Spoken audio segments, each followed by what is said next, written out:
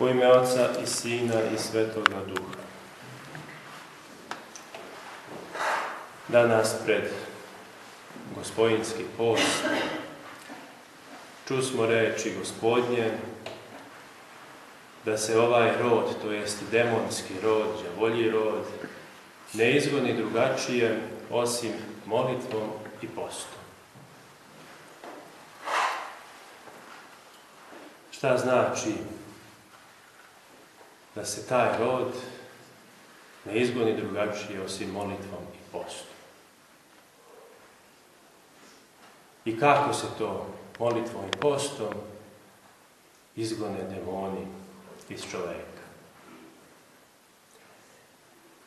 Da li je dovoljno samo da čovjek počne da posti i da se moli i to će biti dovoljno. I onda će svi moji demoni iz mene morati da pobegnu.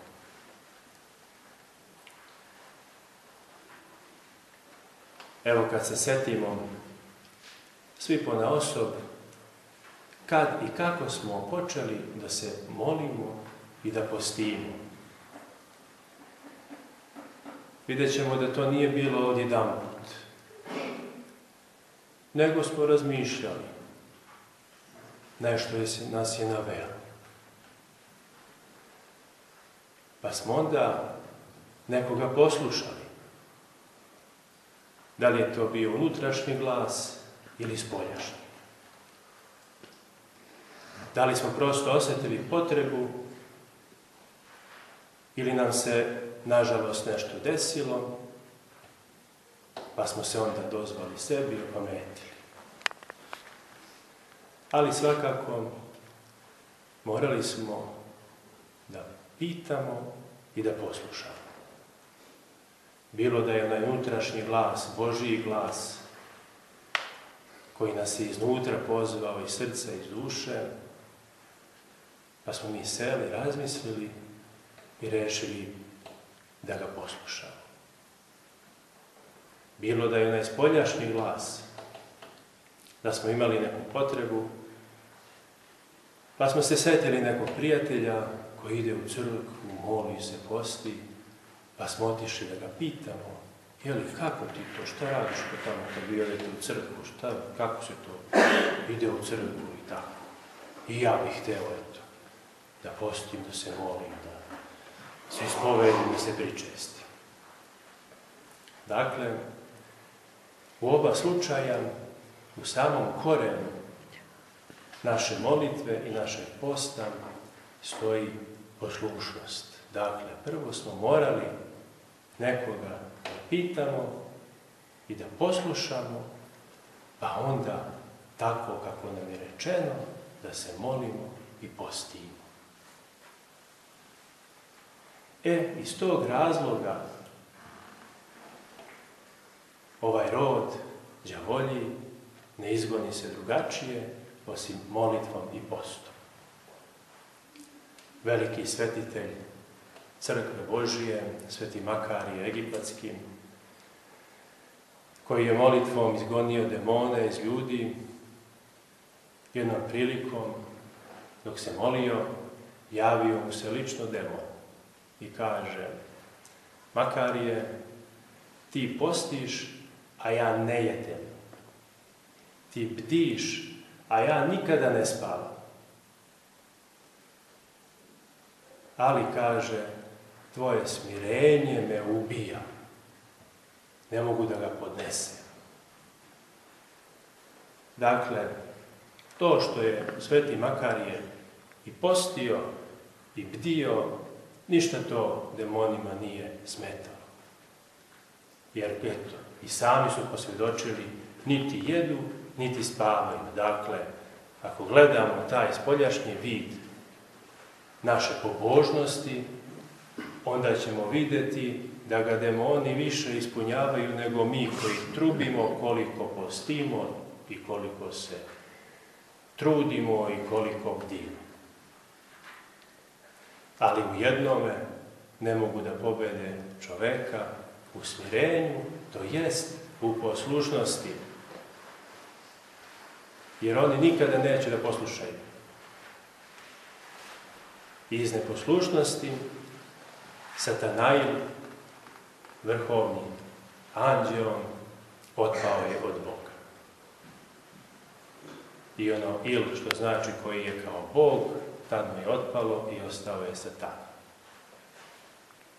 Dakle, neposlušnost leži u korenu demonskom. I zato demoni mogu da imaju vlast nad nama. Kad god mi okrenemo leđa Bogu, mi okrenemo lice djavo. E zato kažem, Hristos na jednom mestu, kada izađe demon iz čoveka, pa onaj unutrašnji sasud čoveko, srce i duša, kad se očiste, pa kaže, ako se ponovo taj čovjek povrati na greh, onda onaj demon što je izašao, dovede sa sobom još sedam gorih demona od sebe i kaže, potonje biva čoveku ono gore od prvoga. Dakle, ako hoćemo da krenemo putem gospodnjim, onda moramo krenuti. I tu nema kompromisa, nema ili ili. E sad ću malo da idem u crkvu, a sad malo neću. E sad ću malo da postim, pa posle malo neću. E sad ću malo da se molim, pa posle malo neću. E sad ću malo da se pričešćujem, a posle malo neću. E takvog đavo vitla oko malog prsta.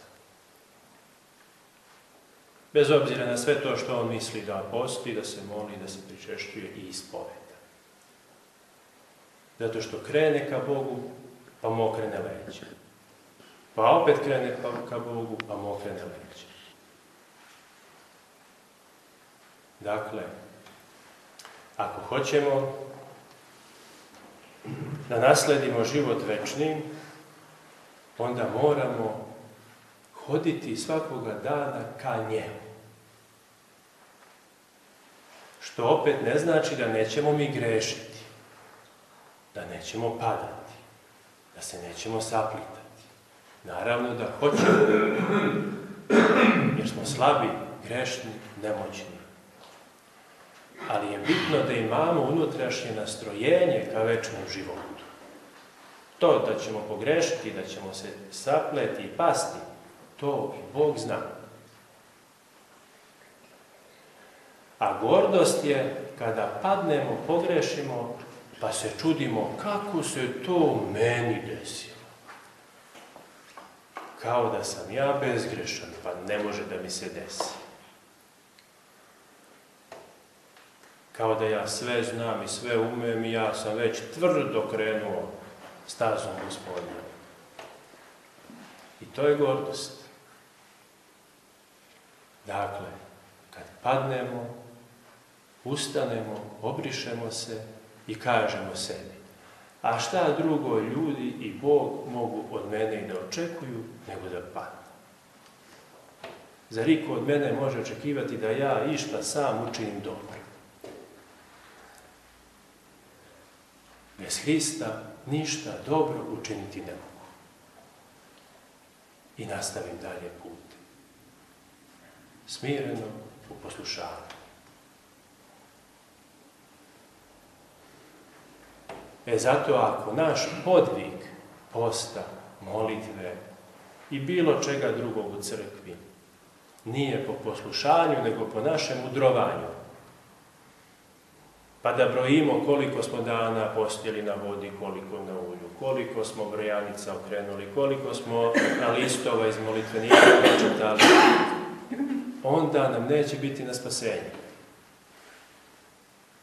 Onda ćemo mi umisliti da idemo putem večnog života.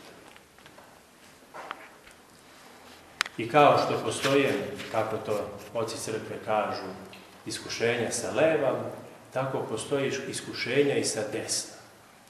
Dakle, iskušenja sa leva su ona kada nas đavo navodi na greh. Ajde ti u društvu nekom sam, pa popi još jednu, pa još jednu, pa još jednu, dok se ne napijem. Ili zapali cigaru, ili ne znam, uradi ovo, uradi ono. A iskušenje sa desna su kada đavo vidi da ne može na taj način čoveka da se obmane, da ga obmane. Nego on njemu kroz pobožnost poturi nogu. Pa dođe neko pa počne da se moli, on našaptava, ajde još malo, ajde još malo. On još malo, a još malo, još malo. I onda on ne prospava svu noć, utradan ode na posao i tamo napravi havariju poslu jer se nije naspavao, zato što je se preko svoje mere podvizao. I isto tako počnemo da postimo, pa onda đavo kaže, e, da nas navodi. Pa onda pročitam neku knjigu tamo, pa neki pustinjak živeo tamo, pa nije jeo jedan put samo uveče. Meni đavo kaže, vidiš kako se on podvizava, gde si ti? Pa onda ja počnem i ja hoću. A ne mogu, nisam do tada ni postio možda. Pa onda mi đavo da snage da ja i zapustim jedno četiri dana tako. Da ništa ne jedem i ne pijem, tek popodne uzem malo hleba i vode. I onda krenu pomisli, aha, vidi, ovi niko ne posti, samo ja postim. Pa ja ću se onda spasti, sigurno vi neće.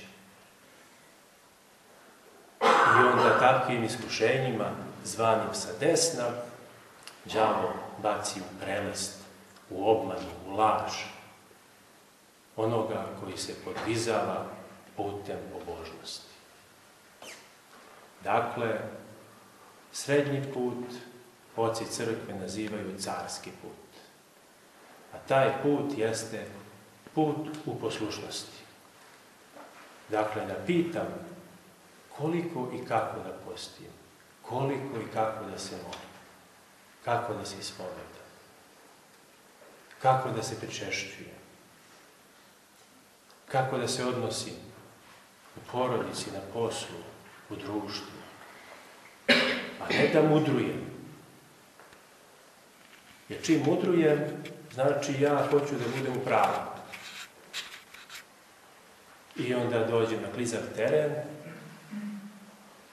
ne poznajući sebe, ne poznajući svoja unutrašnja nastrojenja, raspoloženja, ne poznajući svoje mere i granice. I onda mi uvek preteramo. Bilo u zlu, bilo u dobru. Da može se preterati u dobru, evo, čuo sam.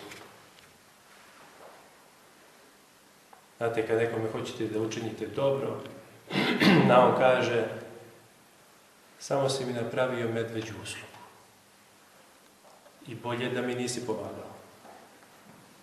Zato što mi kad nekome hoćemo da učinimo dobro, mi njega ne pitamo kako da ti pomogu. Nego mi iskonstruišemo u glavi kako to treba mi da pomognemo tom našem prijatelju. Pa bez obzira imalo to smisla ili nema, bez obzira traži on to ili ne, bez obzira što nam govorio nemoj tako uradi ovako, ne, ja ću ti pomognem, sad ćeš ti da vidiš. Dakle, i kada hoćemo da učinimo dobro, treba da pitamo i treba da imamo meru. Jer nije svako dobro dobro.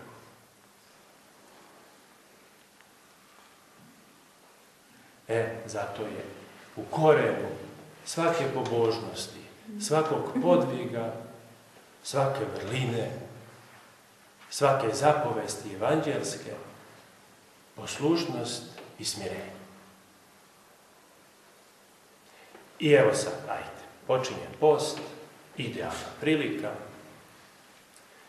Zamislite se ovih dana, ko je to ko vama stalno nešto smeta, zvoca, stalno što nešto s njim trvete i tako. I sljedeće jutro kad otvorite oči kažete sebi ovako. Od danas sve što kaže slušam ali ne samo tehnički spoljašnji, nego i unutra. Ako nešto kaže, a ja po običaju bih da nešto dodam, ili iskomentarišem, ili promenim, da se ujedem za jezik i da kažem sebi ne. Ima da čutiš i da poslušaš i da uradiš onako kako ti je rekao.